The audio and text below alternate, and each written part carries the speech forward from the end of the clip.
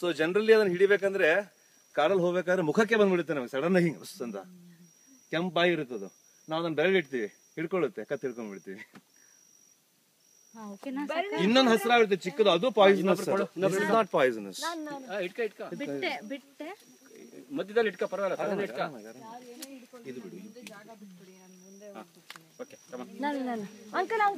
ಬಿಡಿ ಆಯ್ತು ಆಯ್ತು ಆಯ್ತು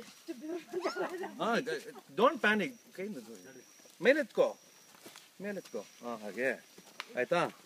ಎಸ್ ಆಯ್ತು ಕಿಟ್ ಹಾ ಬಿಡಿ ಮತ್ತೆ ಅದನ್ನು